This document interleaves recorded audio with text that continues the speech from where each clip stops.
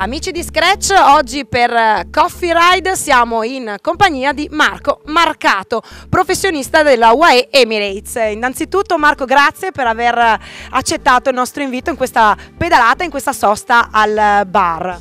Sì, grazie a voi e buongiorno a tutti.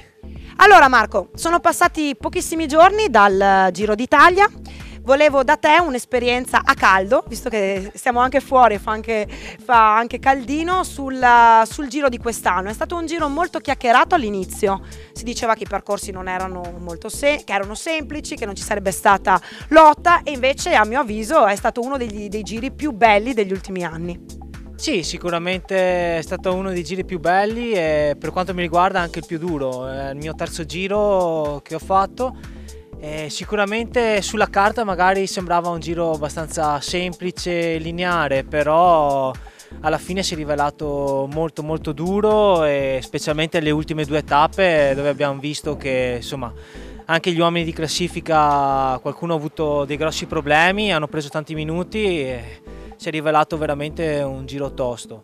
Eh, sicuramente ed è stato anche dal fatto che comunque è stato sempre corso a tutta perché non c'è mai stata una tappa trasferimento sia per eh, le salite sia magari anche faccio un esempio la tappa di Imola che c'è stato il temporale nel finale lì sai eh, il nervosismo per stare davanti eccetera ha fatto sì che la corsa diventasse veramente dura. E niente, eh, sicuramente eh, ci vorrà un bel, tempo, un bel, po' di tempo per recuperare questa fatica di tre settimane. Ecco.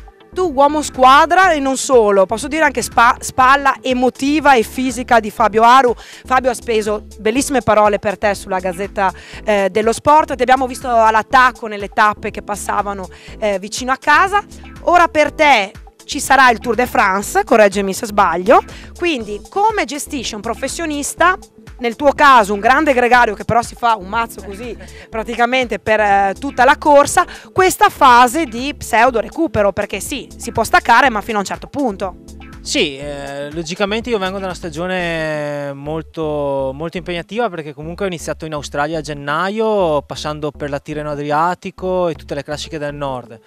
Quindi poi ho fatto un 15 giorni in montagna prima del, del giro al giro mi sono sentito bene, ho avuto diciamo un po' il mio primo picco di, di condizione e adesso è fondamentale recuperare. E comunque dopo tre settimane il giro ti dà veramente tanta, tanto ritmo corsa e non è che c'è bisogno di fare chissà che di lavori specifici oppure di distanze in bicicletta, quindi è fondamentale saper recuperare bene. Questa settimana andrò a spasso qui sui Colli Ugani, che insomma è una palestra veramente perfetta per noi ciclisti. E, e, poi riprenderò pian piano avvicinandomi verso il tour, farò i campionati italiani e poi andrò al Tour de France. Ecco. Tour de France che tra l'altro ti ha sempre portato bene perché sei uno dei, degli italiani che ha vestito anche il, il numero rosso di, eh, della com- premio combattività. L'emozione più grande, la delusione più grande di questo Giro d'Italia per Marco Marcato? Ma eh, allora, delusione più grande, anche insomma, se non dobbiamo parlare di, di, chissà che delusione, comunque quella di non essere riusciti a fare una gran classifica con il nostro capitano, perché comunque avevamo il nostro obiettivo primario era quello di, fare, di vincere questo Giro d'Italia. Purtroppo sappiamo che il ciclismo non è matematica e, e quando comunque uno prepara dal 100% poi non è sempre automatico il fatto che vengano i risultati.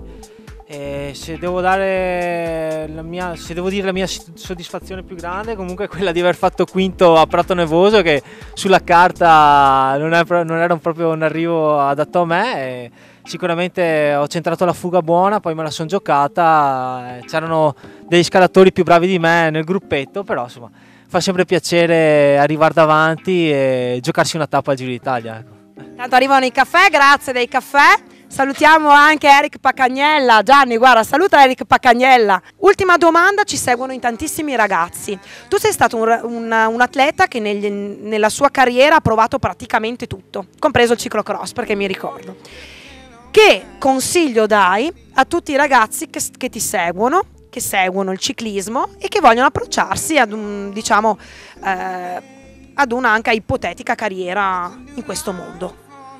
Ma eh, allora, sicuramente io dico la prima cosa è quella di, di, di, divertirsi in bicicletta, deve essere veramente un divertimento e poi di, di, provare un po' tutte le specialità, perché comunque sia la pista che il ciclocross eh, che la mountain bike stessa eh, sono propedeutiche anche per, per, la strada e sono complementari, tutte le, le discipline si integrano assieme e fa sì di, di avere un una completezza diciamo, nel, nelle abilità de, del ciclismo.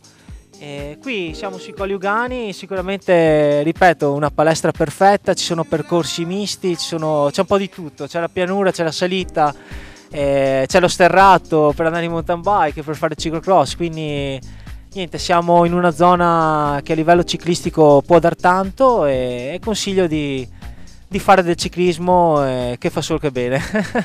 Bene ragazzi, grazie Marco, beviamo il nostro caffè, poi eh, ritorniamo in bicicletta, tu torni a casa, io vado in, in, altri lidi. Alla prossima puntata di Coffee Ride, chissà dove pedalerai Legna Lazzaro la prossima settimana. Continuate a seguirci.